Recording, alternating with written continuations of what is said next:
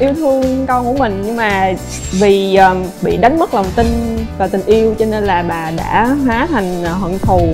Nhưng mà ở sâu bên trong thì bà vẫn là một con người rất là thể hiện em muốn đem tới cái hình tượng này để nói là, là phụ nữ của chúng ta thì rất là mạnh mẽ không những ở, ở ngoài xã hội mà còn đủ sức để bảo vệ những cái con của mình khỏi khỏi những cái xấu ở ngoài kia. Xin cảm ơn những chia sẻ của thợ bánh thiên kim. Và bây giờ chúng ta sẽ đến với bất ngờ của thợ bánh mai linh. Xin mời anh.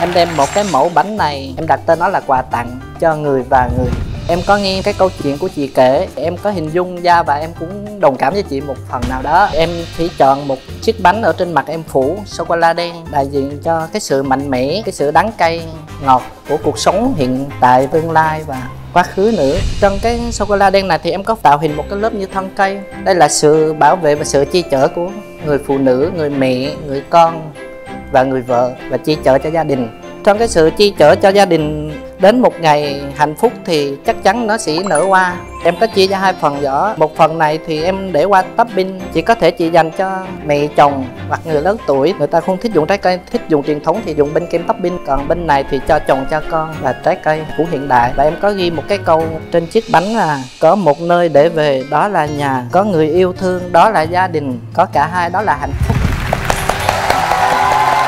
Dạ em chúc gia đình chị mãi mãi hạnh phúc. Cảm ơn anh bạn Mai Linh thì có một cái thế mạnh là bắt kem hai topping nhưng mà nếu mà so với cái thời lượng này mà làm chiếc bánh đó thì mình cảm thấy hơi an toàn quá. Cảm ơn những chia sẻ của thợ bánh Mai Linh. Vậy thì liệu rằng vị của hai chiếc bánh sẽ ra sao? Ngay bây giờ chúng ta sẽ đến với phần chấm nếm chi tiết từng chiếc bánh. Xin mời thợ bánh Thiên Kim.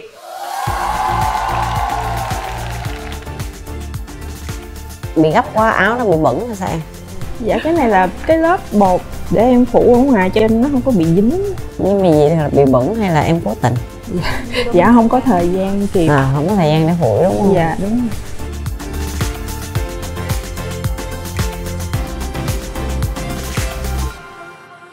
cái mứt màu đỏ này là gì bạn? Dạ cái đó là cranberry nam việt quốc đông lạnh. Xong rồi em uh, xay nó ra rồi em nấu lên với lại uh, thịt rau câu chờ nó nguội xong rồi em lại xay thêm một lần nữa. Xay cái hỗn hợp mà đã thành rau câu một lần nữa thì nó sẽ cho ra cái cái phần đó. Vì sao em chọn phương pháp dùng rau câu? Em thấy nó lạ. Bạn có ăn thử chưa?